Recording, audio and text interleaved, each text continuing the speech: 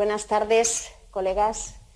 Bueno, em, me gustaría compartir una reflexión con, ustedes después de haber leído las recomendaciones que nos han realizado eh, para hablar sobre lo que considero que es una propuesta que es el nexo común de algunas de las propuestas que nos hacían, en concreto la 40, la 41, la 42, la 43 pero también en la exposición de las recomendaciones que nos hacía eh, Raso, al igual que otros de ustedes que han participado, lo que ustedes nos están pidiendo es que se avance en la creación de una Unión Europea de la Salud, de una Unión Sanitaria.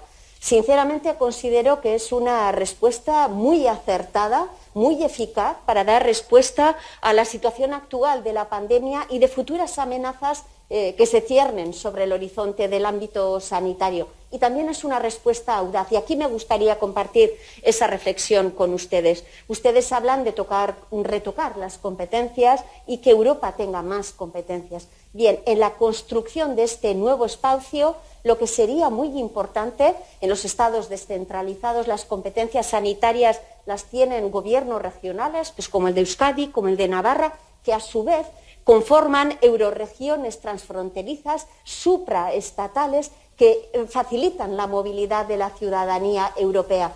Es muy importante trabajar con gobernanzas multinivel, con soberanías compartidas para articular esa base sólida de salud también de esa Europa federal que soñamos desde el principio de subsidiariedad, solidaridad, desde el principio de colaboración, para que podamos avanzar realmente de una forma muy solidaria. Mejores precios para los medicamentos, como ustedes piden, más solidaridad en las vacunas para Europa y también para el exterior, esa sanidad mínima para toda la ciudadanía europea. Es un gran avance, pero tengamos en cuenta quien sabe hacer, porque eh, durante décadas ha gestionado la salud y la sanidad en, en Europa. Felicidades y seguir trabajando. Gracias.